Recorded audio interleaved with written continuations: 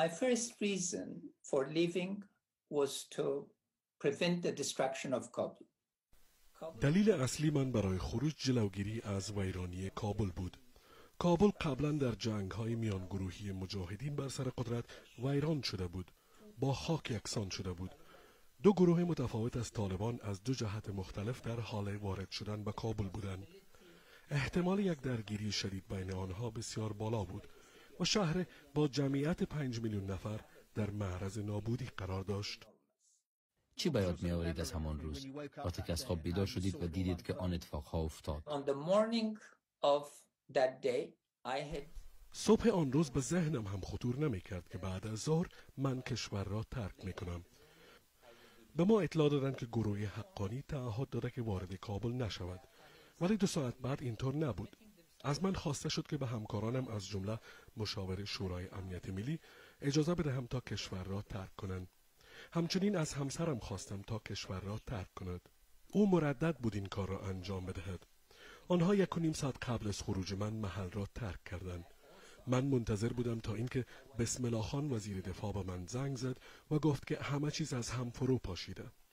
این زمانه بود که من می‌خواستم به وزارت دفاع بروم. 25 دقیقه منتظر بودم ولی خودروها نیامدند دکتر محب مشاور شورای امنیت ملی و بعد رئیس PPS واحد محافظت از رئیس جمهور وارد شدند و گفتند که PPS از هم پاشیده و اگر من بر ماندن اصرار کنم همه آنها کشته می شوند. آنها در موقعیت نبودند که از من حفاظت کنند. دکتر محب واقعا ترسیده بود. برای من بیش از دو دقیقه فرصت نداد. من آماده شدم برای اینکه به طرف خوست حرکت کنم. او به من گفت که خوست و جلال آباد هم سقوط کرده. من نمی‌دانستم کجا می رویم. تنها وقت سوار هلیکوپتر شدیم مشخص شد که ما کشور را ترک می کنیم. این واقعا اتفاق ناگهانی بود.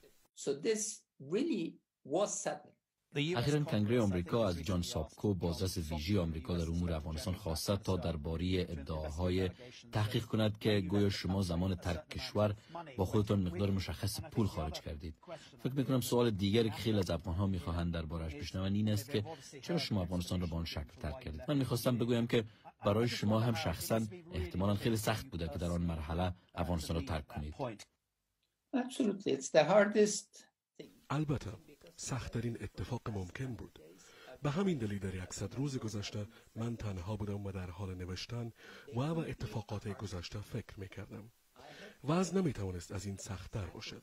مجبور بودم خود را قربانی کنم تا کابل را نجات بدهم و خودم را در معرض شرایط قرار بدهم که باقیت داشت.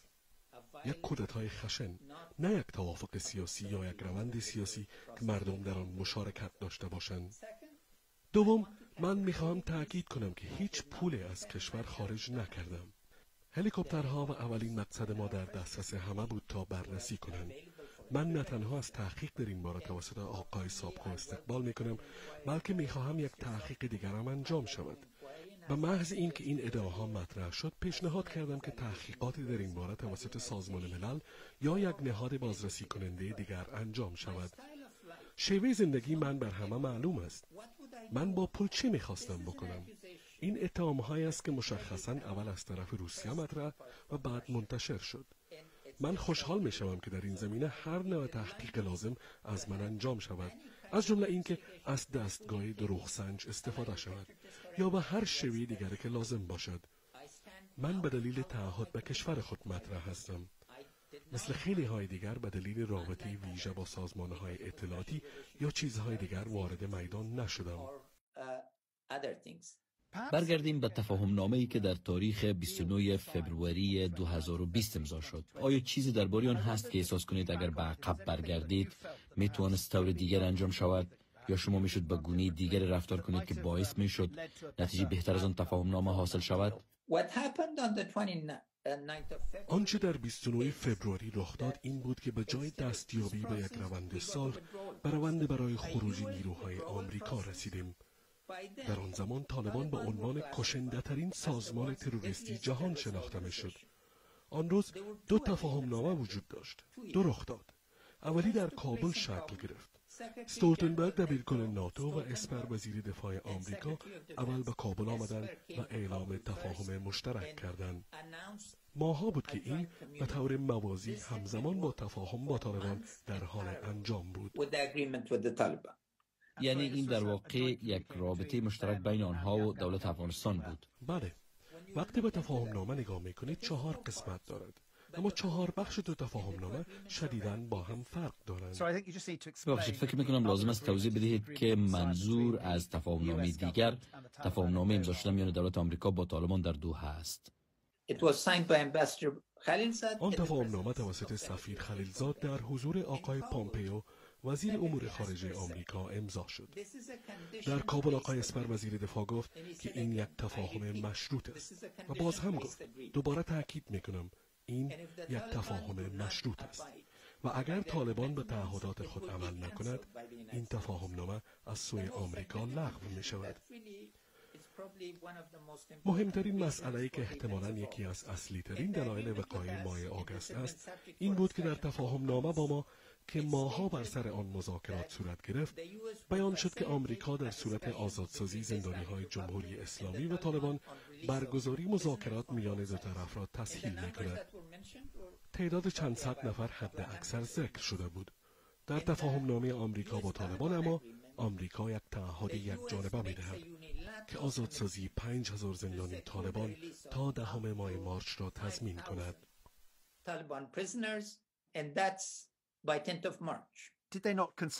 آیا با شما درباره آزاد کردن پنج هزار زندانی مشورت نکردن؟ ما قاطعانه آن را رد کردیم. من همه تفاهم نامه های سال را قبلا مطالعه کرده بودم. با این توافق بود بدون یک آتش بس همه جانبه و دائمی. وزیر دفاع و دبیرکل ناتو تکرار کردند هیچ مشورت با ما صورت نگرفت. علاوه بر آن آمریکا یک جانبه تعهد داد که باقی زندانیان طالبان را هم در سه ماه بعد از آن آزاد کند. ضرب العجل هشدارآمیز صادر شد. اینکه ما باید آزادشان می‌کردیم. تعدادشان اول چند صد نفر بود بعد به یک هزار رسید و بعد اصرار شدید و کامل وجود داشت که تمامی پنج هزار نفر آزاد شوند. اما طالبان از مذاکرات سیاسی با ما خودداری کردند و گفتند شما چه کاره هستید؟ و حتی در مورد زندانیان گفتند این تعهد آمریکاست و آمریکا قرار است اجرایش کند. چه از نظر روند کار و چه از نظر نتیجه آن این مسئولیت باید مشخصا متوجه همان تیم باشد. و خصوص سوال اینجاست که چطور وکلای وزارت امور خارجه آمریکا اجازه دادن دو تفاهم نامه به شدت متفاوت شکل بگیرد چون تفاوتها با هم نمی‌توانست مطابقت کند. برمیگردم به جایی که این گفتگو را آغاز کردیم. آیا فکر می‌کنید اگر همانجا میماندید می‌تونستید کار کنید که آنها متوجه این موضوع شوند؟ نه خیر. چون متاسفانه از من چهره کاملا منفی ترسیم کرده بودند و همه اینها به این خاطر رخ داد که ما هرگز فرصت این را نداشتیم که با آنها به مذاکره بنشینیم. سفیر خلیلزاد با آنها مذاکره می‌کرد. این تبدیل به مسئله مربوط به آمریکا شد. نه مسئله افغان ها. آنها ما را حذف کردند. شما زمان زیاد چیزی بیش از صد روز داشتید که با آنچه گذشته فکر کنید؟ آیا هیچ پشیمانی شخصی دارید درباره همه اتفاقهایی که افتاد؟ مردم احتمالا خیلی برایشان جالب است بدانند که چه احساسی دارید و برایتان چه معنایی دارد.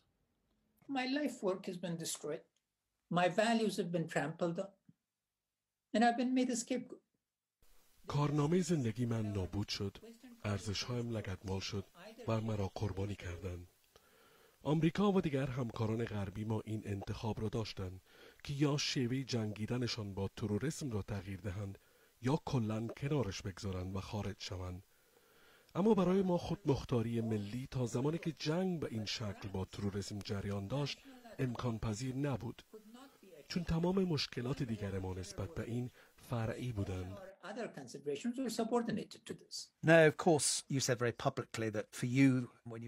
شما وقتی رئیس جمهور بودید به وضوح اعلام کردید که این برای شما جنگیدن تا پای مرگ است و همه مسائل مربوط به آن که تا انتها خواهید رفت. اگر به پایان این مسئله برگردیم مطمئنم افغانهای بسیاری هستند که شما را به عنوان رهبرشان نسبت به آنچه اتفاق افتاد مقصر می‌دانند. شما احتمالا باید درباره همه اینها پاسخ به آنها بدهید. Of course, the blame قطعا مقصر دانستن من از سوی آنها کاملا قابل درک است. آنها به درستی من را مقصر می دانند و این حق را دارند. چون من به مشارکت بین المللی ما اعتماد کردم و این مسیر را پیش گرفتم. به جای مقابله مداوم مثل فرد پیش از من. من همانطور که شما شخصا شاهدش بودید واقعا همه فشارها را پذیرفتم که از این نتیجه خودداری شود. اما آنها هم این تحمیل مداوم را درک کنند و امیدوارم که با گذشت زمان متوجه شوند. اما خشم آنها را کاملا می‌فهمم چون خودم هم در آن شریک هستم و در مندگیشان را هم درک می کنم به همین دلیل من به این مسئله متمرکز هستم که بتوانیم یک راه اساسی و جلو رو در پیش بگیریم نه برای مقاصد شخصی بلکه برای آنکه قادر باشم به افغانستان و جهتی که در پیش می‌گیرد کمک کنم. که همه ما دوباره بتوانیم به هم تعلق داشته باشیم و اینجا درس هم برای جامعه جهانی است یک افغانستان بیطرف موجودیت به مراتب ماندگارتر است تا افغانستانی که به میدان جنگ بدل شده باشد یا تابی جنگ از بیرون باشد. همه ما اشتباه بزرگی کردیم. به این باور بودیم که شکیبایی جامعه بین المللی پایدار خواهد بود.